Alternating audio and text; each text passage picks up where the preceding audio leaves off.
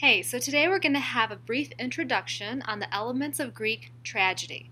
The first thing you need to know is that a tragedy is when a basically good protagonist makes a mistake and his world ends up crumbling before realizing his error.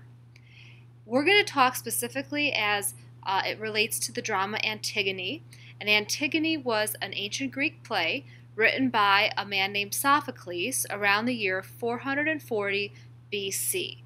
So let's talk about some objectives for your reading. The first thing you want to be able to do when reading Antigone is to be able to explain the influence of historical context on the form, style, and point of view of the text. Remember, this play was written a long time ago in ancient Greece, and the way people lived back then, their culture and their beliefs, highly influenced the way the play is written and the purpose of the play.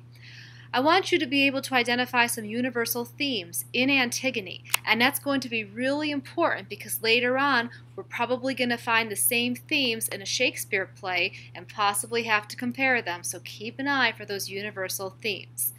Of course, we always want to use our reading strategies like making predictions and visualizing and drawing inferences because sometimes the language of these plays is hard and the things they talk about is not um, very well known to you. So the more strategies you use to understand, the better you're going to enjoy the play. And also compare and contrast how the author's use of literary devices conveys a message. We'll always be looking for similes, metaphors, allusion, personification, and all that other great stuff you've been learning about for years. Because this happens a long time ago, analyzing the cultural or social function of literature is also going to be very important. Antigone, like most Greek tragedies, has a religious significance to the ancient Greeks, um, and it portrays a lot of their values. So we can learn a lot about that time period just by reading this play. So let's talk about some conventions of tragedy. Conventions means basically the things that make a tragedy a tragedy. So, what we're going to see in ancient Greek tragedy is time that the entire plot of the drama is going to occur in mostly a single day or a day and a night. Place, there's going to be only one main scene. Uh, you're not going to see a lot of you know, scene changes like you might in modern day plays. The Greeks kept it pretty simple. Action. There's one main plot in Antigone, um, and you're not going to see subplots with sub characters doing other things. There's one main thing going on. So at least that makes it a little easier to understand.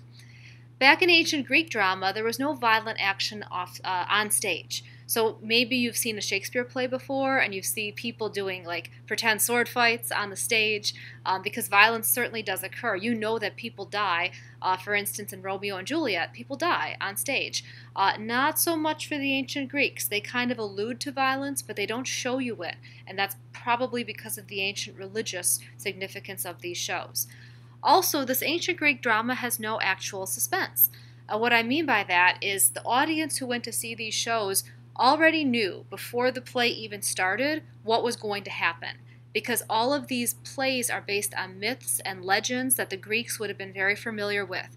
And just in case they weren't familiar with them, the chorus right at the start of these plays is going to tell you pretty much what's going to happen before it does. So the point of seeing this play is not to find out what happens in the end, because they know. The point is uh, to learn from the choices the characters make and then just to enjoy the performance. These plays emphasize people, ideas, and emotions, not so much the plot. It's the, it's the people and the characters and what they learn. Now, there's six parts of a tragedy in ancient Greece. Of course, remember plot, most important element. There's one main plot. Characters, tragic hero. These tragedies in ancient Greece have a tragic hero. That is the basically good character who is wise and beloved, who falls from grace due to some character flaw of his own. There's definitely theme. Theme is a huge part of tragedy. The uh, playwright wants the audience to learn something from watching this show. Diction. There's going to be many uh, literary devices like metaphors used to enhance the play's point and to basically help the audience visualize better what the playwright is talking about. Song is part of ancient Greek chorus. It's, it's, not, um, it's not like singing with music, it's more like chanting. But whenever the chorus speaks in this show, it's, it's actually a song, it's actually chanting. And spectacle, special effects, they're not really as important for the ancient Greeks, but, but sometimes you will see this. And notice in the green box, no deus ex machina allowed. That's a Latin word phrase meaning God from from a machine. So basically, um, that means that if the show is going along and then all of a sudden at the end something unexpected happens and the end of the show occurs, that's a deus ex machina. Like it came out of nowhere. You know, it came out of nowhere and it changed. That's not going to happen in these ancient Greek shows because, again, there's no real suspense. The audience knows what's going to happen. Everything kind of connects and makes sense. So you're not going to get any crazy plot twists coming at you uh, when you watch these shows. So let's see uh, what this really short video clip has to say.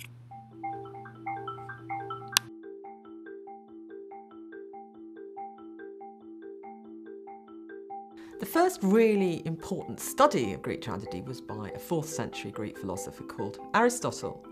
And Aristotle thought for a very, very long time about what made Greek tragedy effective. And he actually came up with a formula, and that is that the heroes of tragedy needed to be um, good, but not so good that um, you sort of couldn't relate to them. People trying to be good, but making mistakes, like Creon. He is actually trying to be a good king of Thebes. He's just not getting it right. He's making lots of mistakes. And the good guy who isn't good enough, but he's pretty much like you or me, makes a mistake. It ends in, in, in, in some terrible misfortune.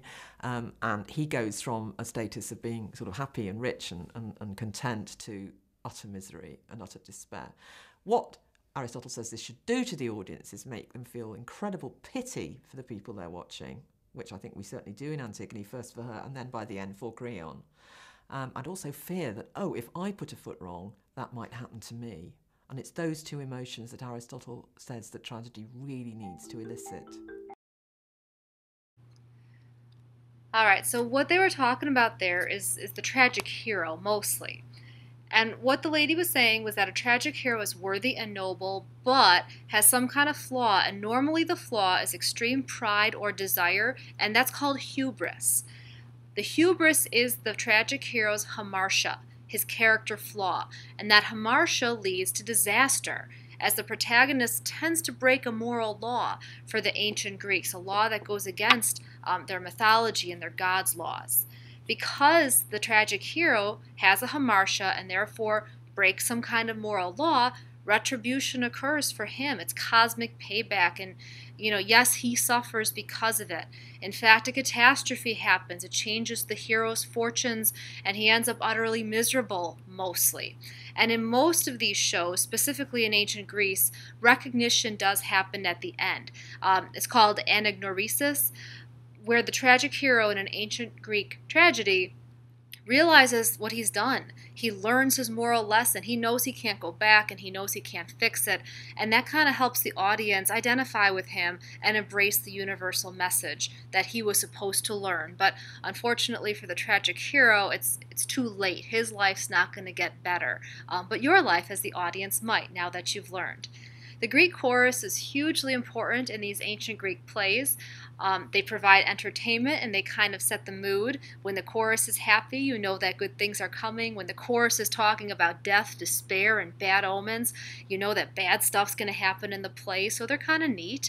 Um, they also represent the common people and they will comment on the events in the show. So if you're not sure how to react to something Antigone says, like you think what she says is okay, well, they might come in in the next uh, part of the show and say that she's being prideful and she's being immoral and she's being bad. And you kind of learn that you might think Antigone's fine, but they're telling you the ancient Greeks don't think that's okay. That behavior's not okay.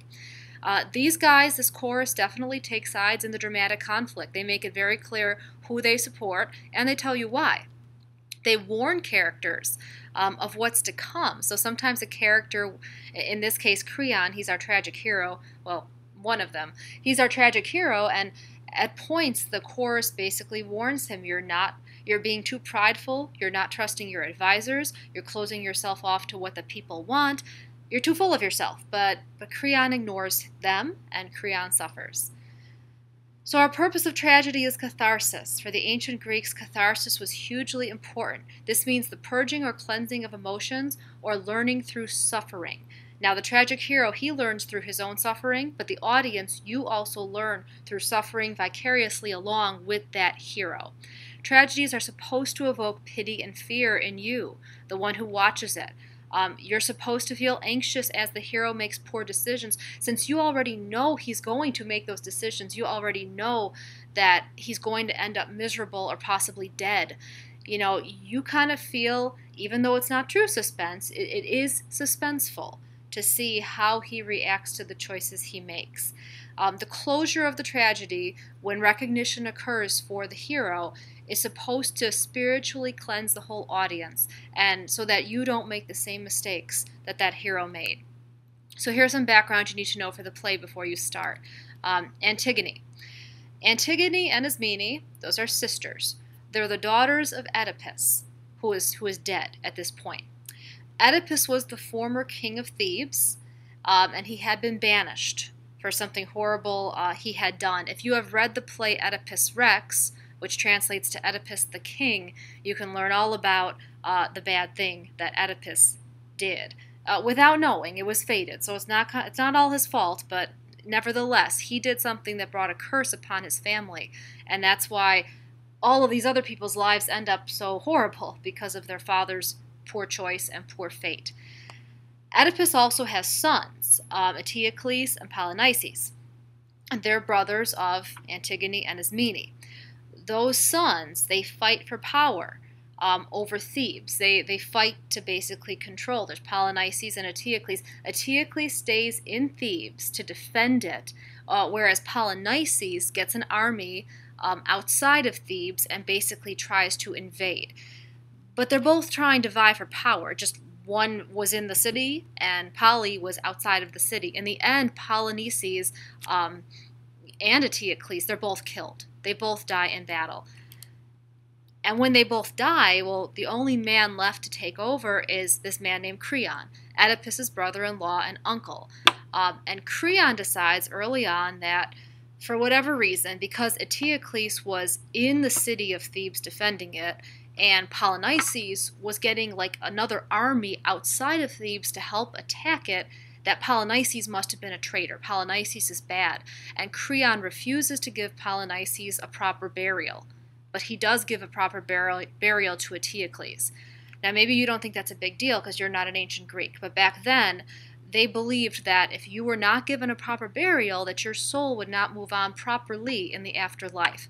So Antigone is horrified by Creon's decision not to bury Polynices, and she's going to do some things um, that you know she, she's going to get in a little trouble for. But that's kind of the conflict of this play. It's about a burial that Creon won't bury Polynices, and Antigone wants him to bury Polynices. So there we go. Some textual elements to be aware of in this play. Well, there's a prologue, which is the opening scene. Um, there's the parodos, which is the first time the chorus will enter and chant about the theme of the play. Usually the chorus elucidates the theme, so listen for that. Episodes are the ancient uh, Greek word for scenes, so instead of saying scene 1, scene 2, scene 3, it's episode 1, 2, 3. Stasimons are choral odes, so it's just another way of saying the choral ode is a stasimon. The strophe and the antistrophe are the two different voices of the chorus. So when the chorus speaks, one half will talk to the other half, and they'll talk in unison. So, like six members will say something, and then six members will respond.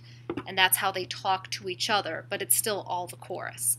And the final part of the tragedy is the Exodus, usually sung by the chorus as they exit, and that's going to once again point to the theme of the show and what the audience should have learned by uh, seeing what happened to the tragic hero. So if you have any questions, please ask me, and let's enjoy the show by reading it.